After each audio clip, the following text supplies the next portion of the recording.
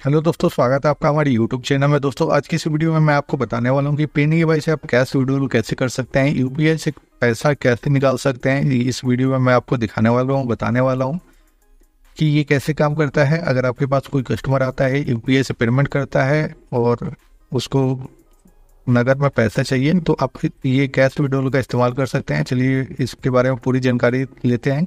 लेकिन चैनल पर पहली बार आया है, चैनल को ज़रूर सब्सक्राइब करें, साथ में बेल आइकन को भी दबा दें ताकि जब भी और इस वीडियो अपलोड करें, उसकी नोटिफिकेशन आपको तुरंत मिले।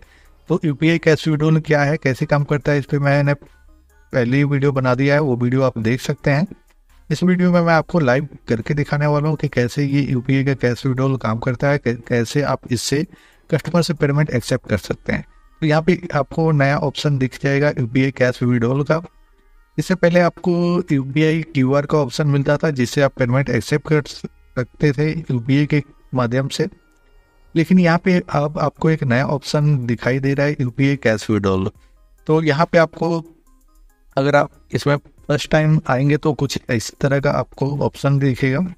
तो यहाँ पे लिखा है कि become a cash point boost your business और यहाँ पे इसमें आपको चार सर्विस है जो कि आपका ओपन हो जाता है, यूपीआई क्यू आर है, यूपीआई कैश विडोल है एम पोस्ट है सॉफ्ट पोस्ट है तो कंटिन्यू करेंगे तो यहाँ पे कुछ आपको बिज़नेस का डिटेल डालना होता है। सबसे पहले आपको अपना शॉप टाइप यहाँ पे सिलेक्ट करना होता है कि आपका शॉप किस टाइप का है। तो यहाँ पे काफ़ी सारे ऑप्शन इसमें आपको दिए गए हैं कि आपका शॉप ऐसा है कॉस्मेटिक का है इलेक्ट्रॉनिक है ग्रोसरी का है, या फिर किस टाइप का है वो आप यहाँ पे सिलेक्ट कर सकते हैं मनी ट्रांसफ़र बहुत सारे यहाँ पे आपको ऑप्शन मिल जाते हैं ब्यूटी पार्लर तो यहाँ पे आपको जो भी जिस टाइप का आपका शॉप है, उसको आपको सिलेक्ट करना है और यहाँ पे बहुत सारे ऑप्शन दिए गए हैं। तो आपको यहाँ पे ध्यान से देखकर अपने शॉप को सेलेक्ट कर लेना है। उसके बाद यहाँ पे एनवर्ड इनकम आपका पूछा जा रहा है कि दस लाख से कम है या ज़्यादा है।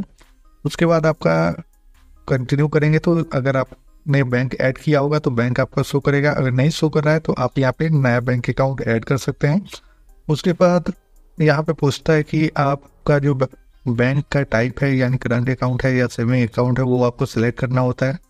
उसके बाद आपको अपना पिन कोड सिटी स्टेट और ईमेल आईडी डालकर कंटिन्यू करना होता है। तो चलिए हम यहाँ पे अपना पिन कोड डाल देते हैं और यहाँ पे आपको अपना सिटी सेलेक्ट करना होता है। दोस्तों सिटी जब आप सेलेक्ट करेंगे तो काफ़ी सारे सिटी ऑल ओवर इंडिया के आएगा। तो आपको वही सिटी सिलेक्ट करना है जो आपका जो आपका जो कि है स्टेट का आए। तो वहाँ जब आप सिटी को सिलेक्ट करेंगे तो वहाँ पे स्टेट भी लिखा आता है। तो ऐसे ये सब करके जैसे ही आप कंटिन्यू करेंगे, आपका जो है रजिस्ट्रेशन सक्सेसफुल हो जाता है। उसके बाद यहाँ पे आपको ऐसा ऑप्शन देखने को मिलेगा जिसमें आप अपना पूरा ट्रांजेक्शन का अर्निंग देख सकते हैं। और यहाँ पे दोस्तों यहाँ पे आपको लिखा गया है कि 100, 200, 500, 1000 और यहाँ पे आपको ये भी ध्यान रखना है कि यहाँ पे आप सिर्फ़ सौ रुपये से लेकर एक हज़ार तक का ही कैश विड्रॉल एक्सेप्ट कर सकते हैं। तो जैसे कि मैंने सौ रुपया किया और यहाँ पे किसी कस्टमर को सौ रुपया चाहिए तो यहाँ पे मैंने एक सौ रुपये का क्यू कोड जनरेट कर दिया है। अब इस क्यू कोड पे कस्टमर पेमेंट करेगा और जैसे ही पेमेंट करेगा, वो पेमेंट आपका यहाँ पे एक्सेप्ट हो जाएगा और यहाँ पे आपको 24 पैसे का कमीशन मिलता है। तो देख सकते हैं, जैसे ही मैंने इस पर पेमेंट किया, यहाँ पे पेमेंट सक्सेसफुल हो चुका है और यहाँ पे देख सकते हैं, नीचे आपको 25 पैसे का कमीशन मिल रहा है। एक पैसा आपका टी कटेगा 24 पैसा आपके अकाउंट में आएगा। तो यहाँ पे दोस्तों ये जो पेमेंट है, यहाँ पे हमारा आ चुका है एक्सेप्ट हो चुका है। यहाँ पे ट्रांजेक्शन डिटेल्स हमको शो कर रहा है। और जो ये पावर्ड बाई है, ये इंटरसेंट बैंक की तरफ़ से यहाँ से आप रिसिप्ट भी इसका डाउनलोड कर सकते हैं। तो रिसिप्ट पे जैसे क्लिक करेंगे, यहाँ पे आपका रिसिप्ट डाउनलोड हो जाएगा। इसमें आपका पूरा कस्टमर का डिटेल आएगा कि कस्टमर का बैंक में क्या नाम था, उसका यू पी क्या था, वो सब आपको यहाँ पे शो करता है। और ये जो पैसा है, ये आपका सेटलमेंट लेजर में आता है, जैसे आप इससे पेमेंट एक्सेप्ट करेंगे, वो आपके सेटलमेंट वाले वॉलेट में आएगा रिपोर्ट में आएँगे, सबसे नीचे आने के बाद यहाँ पे इसका आप ट्रांजेक्शन हिस्ट्री भी देख सकते हैं। तो यहाँ पे आपका यू पी कैश विड्रोल का ऑप्शन नया ऐड हो चुका है, वहाँ से आप रिपोर्ट में आकर देख सकते हैं। ऐसे ही दोस्तों, ये यहाँ पे आप अर्निंग पे आएँगे तो अर्निंग पे देख सकते हैं कि हमको यहाँ पे चौबीस पैसे का अर्निंग हुआ है, हमने एक ट्रांजेक्शन किया है, जो कि अभी किया था हमने, वो आपको यहाँ पे शो कर रहा है। तो ऐसे ही जो भी आप ट्रांजेक्शन करेंगे, वो आपको यहाँ पे शो करेगा।